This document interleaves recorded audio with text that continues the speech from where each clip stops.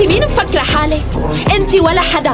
أنا ولدت سلطانة يا هيام وأكيد رح موت سلطانة. وإذا أنتم جبتوا لنا أمراء هاد ما بيغير من موقعكم ابدا. رح تضلوا رعايا وعبيد لمولاي السلطان. من اليوم انت حرة يا هويا من اليوم ورايح ما حدا رح يقول لك إنك شارية يا هويا ضحكت مدي إيدك. أنا لاني جارية قدامك لتضربيني الوضع كتير تغير يا سلطانة ومن زمان. اوعي تنسي هالشي. لأنه اللي وافي مو جارية. زوجته الرسمية للسلطان سليمان. وما حدا بيدخل فيني إلا السلطان سليمان وبس. يا ريت توزني اللي عم تقوليه. لأنه يلي قدامك السلطانة هيام مرته للسلطان سليمان. يعني بصراحة انت الجارية وأنا السلطانة. فيا ريت تلتزمي حدودك.